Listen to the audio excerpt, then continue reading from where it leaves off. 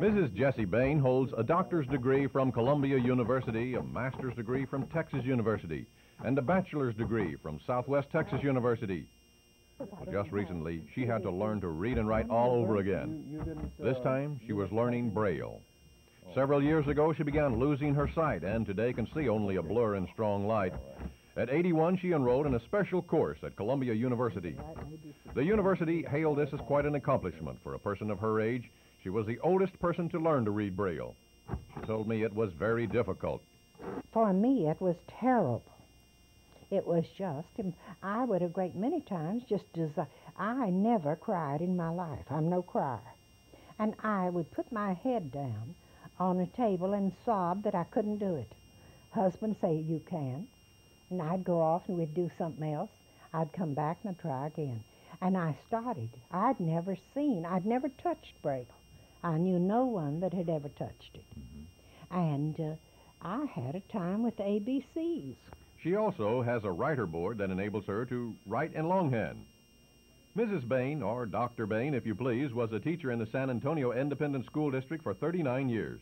She was teaching at Lanier High School before retiring in 1968. She and her husband Jacob live at 1926 West Magnolia Avenue. A remarkable lady, Dr. Jessie Bain. Paul Schaefer, News Center 4.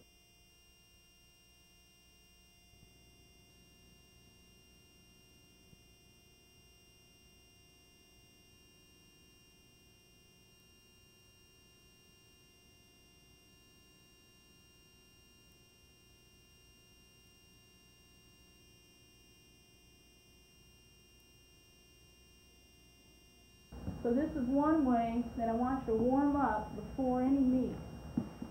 Jan Trottier is the athletic trainer for the Harlandale Independent School District. As such, she works with injured high school and middle school athletes. Jan told me there's not an abundance of women in this field. There's a hesitancy to hire women because of misconceptions the trainers are constantly working in locker rooms filled with undressed male athletes. This makes it difficult for women to land jobs.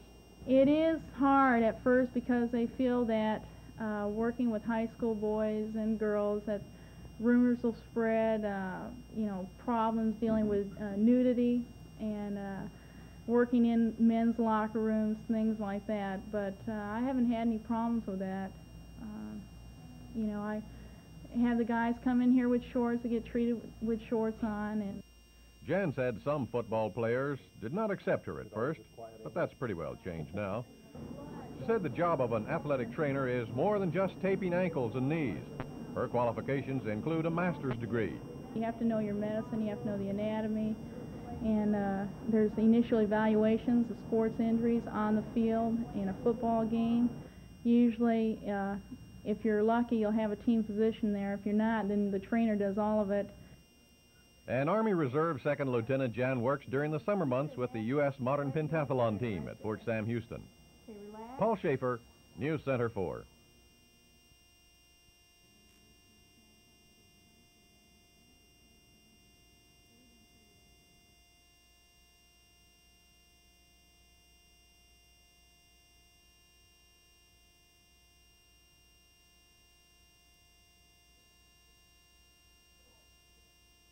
to get.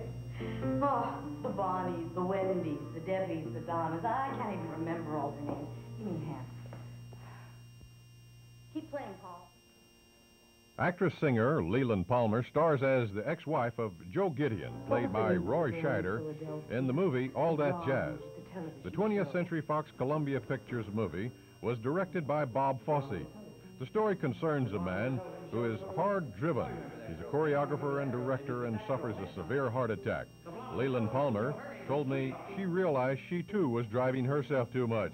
I had done that actually. I, I could really identify with this character because uh, from the time I started dancing at 19 and a half, I never, I didn't stop. I mean, I took 17 classes a week for three years. I moved to New York. I auditioned for show after show. My first show was with Bob Fosse and Little Me, the National Touring Company. And then I started studying acting and singing and uh, dancing, maybe three, four classes a day.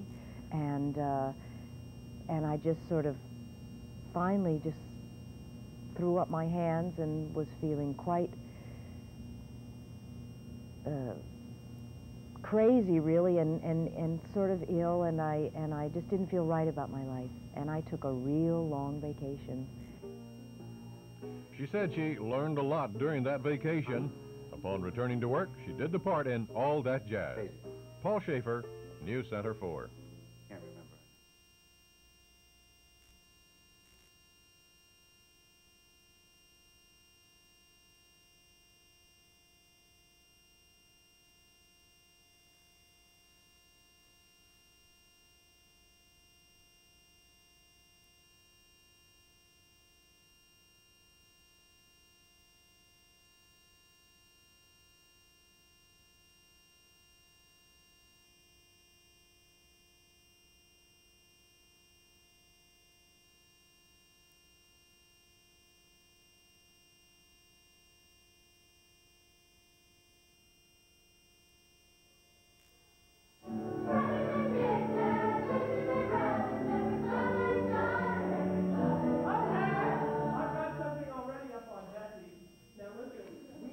These young performers are the Saltines.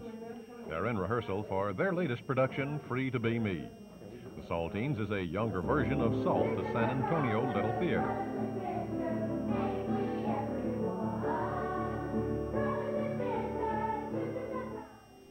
Saltine director is Phil George, a freshman drama major at Incarnate Word College and a 79 graduate of John Marshall High School, where he developed his interest in the theater.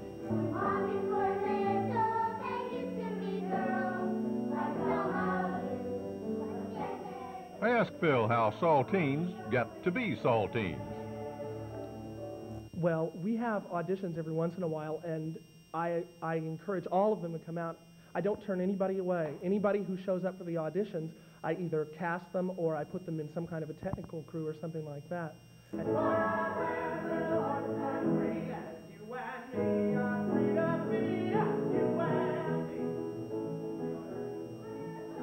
Their current production opened to a full house Saturday in the Cellar Theater at San Antonio Little Theater in San Pedro Park. And it will play each Saturday afternoon through the 12th of April. Longer if necessary. Paul Schaefer, News Center 4.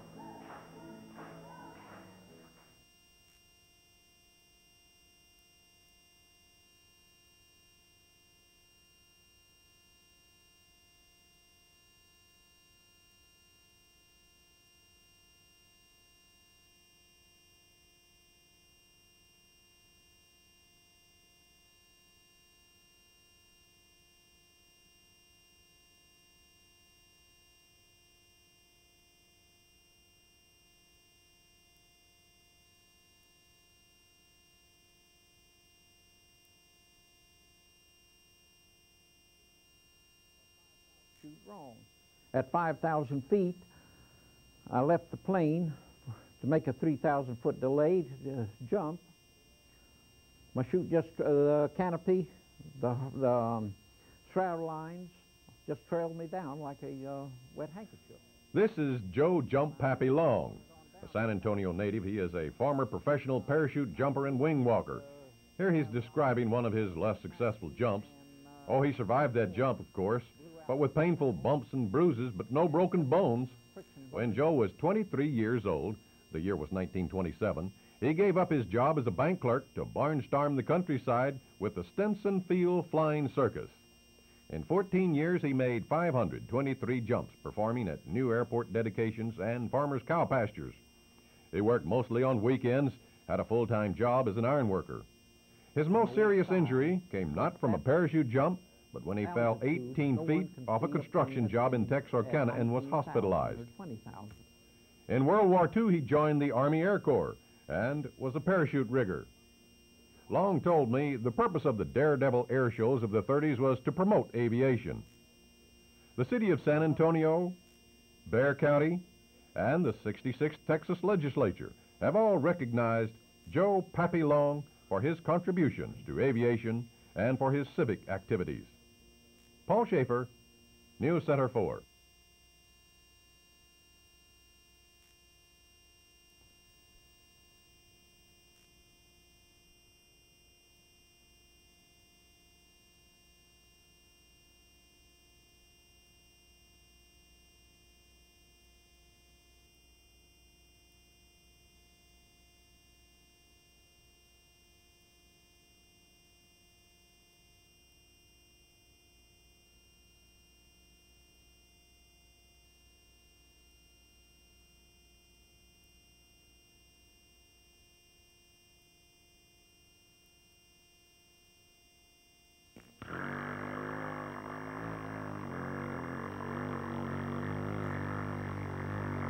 What you see here is not an attractive Easter bonnet.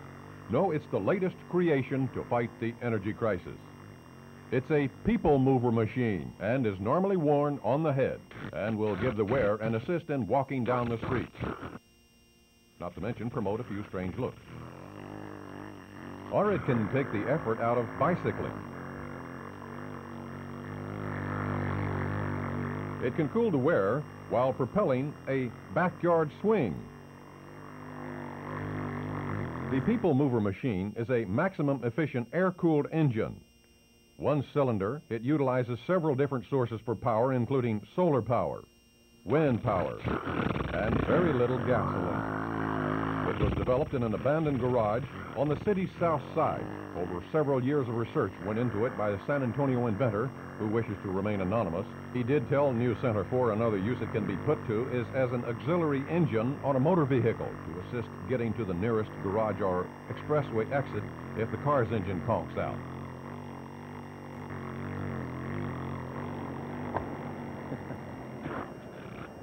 It's just about impossible to say when this will be manufactured for public use. We could probably safely say they'll never, since after all today is April Fool's Day. Paul Schaefer, News Center 4.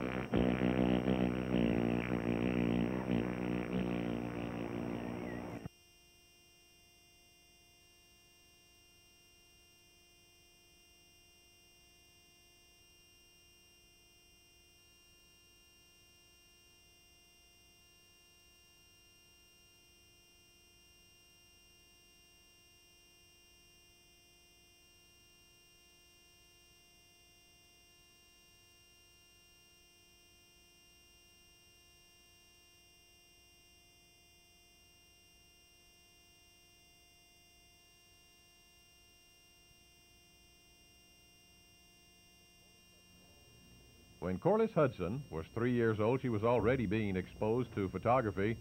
She spent most of her days at her dad's photography studio. Corliss is the only photographer on the staff of the Northwest Times and the North San Antonio Times. She is one of only some three women newspaper photographers in the city. At age nine, she started her career with a Brownie Hawkeye. In high school, she worked on the school newspaper in Waco and a college paper at Abilene Christian University, where she majored in mass communications. Will it fit into three colors? Being a woman doesn't take the hazard out of the work photographers are sometimes faced with, like the time she was photographing a football game and got tackled, or hit in the face with a basketball at a game one night. Here's an example of some of the many pictures she has taken over the years.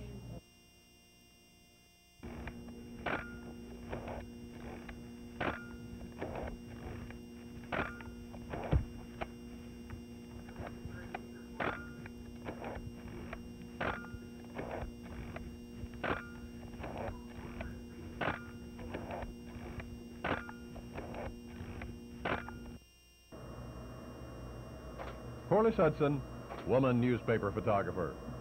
Paul Schaefer, News Center 4.